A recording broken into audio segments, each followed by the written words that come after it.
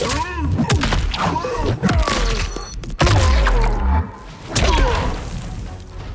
forsaken both me and the Empire.